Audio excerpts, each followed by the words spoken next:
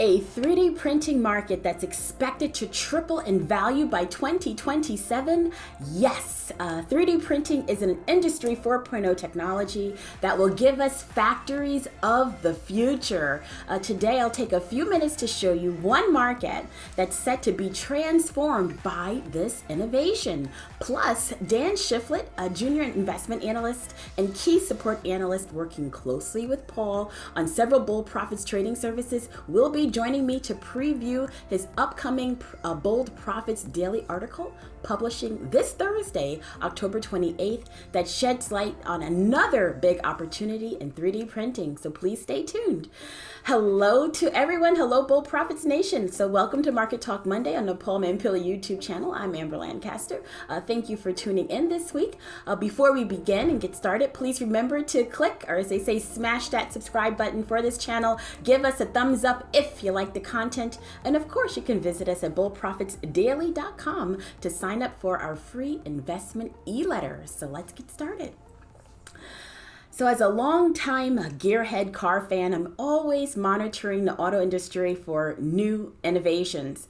And one technology 3D printing, also known as additive manufacturing, is actually not new to the automotive market. No. Um, automakers like Volkswagen have actually been using a 3D printing technology to manufacture plastic and metal components for prototyping cars and car spare parts for, I would say, over 25 years. But in present day, uh, per market research future, 3D printing technology, quote, has gained significant prominence in the automotive sector, helping to create several lightweight components and body parts. And actually, many vehicles and manufacturers, such as General Motors, Honda, and others, have released several 3D printed cars. So, these factors actually boost the value of 3D printing in the automotive market. End quote. So, this means that 3D printing technology is progressing. It's not just being used for prototypes, but will actually be part of the car production process for our use, consumers' use.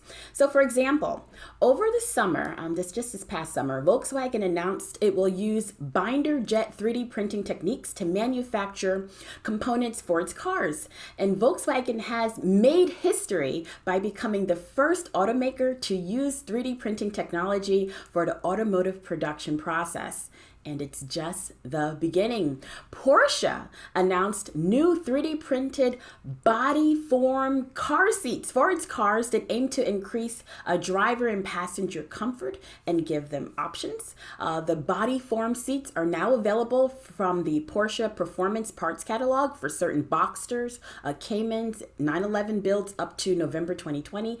And in February 2022, the custom 3D printed seats will be available as standard equipment and added to the Porsche configurator. Also, NTU Singapore and Hyundai Motor Group, well, they entered into an agreement recently to quote tap AI, artificial intelligence, and 3D printing for electric vehicle manufacturing, uh, focusing on Industry 4.0, Fourth Industrial Revolution technologies. Uh, these projects actually aim to develop solutions that can transform conventional car manufacturing facilities into state of the art factories of the future. Uh, four pilot projects uh, on artificial intelligence and additive 3D printing will actually be explored with the Hyundai deal. End quote. So, to put the potential explosive growth in 3D printing automotive uh, tech in perspective, um, per market research futures, the global 3D printing automotive market is expected to triple in size by 2027, reaching $4.89 billion, uh, growing at a compound annual growth rate of 28.72%. So to be part of this market growth, uh, you want to consider adding uh, the ETF, uh, ticker PRNT, the 3D printing ETF to your stock portfolio. And moreover, you can just check out Paul Mampilly's Profits Unlimited monthly stock research service to get his latest 3D printing stock recommendations. You can find out more by clicking the strong hands icon right over my shoulder to learn more.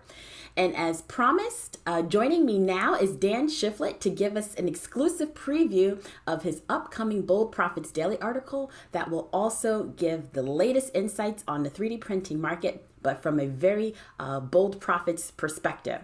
So, hello, Dan. And thank you for joining me today on Market Talk. Good to see you.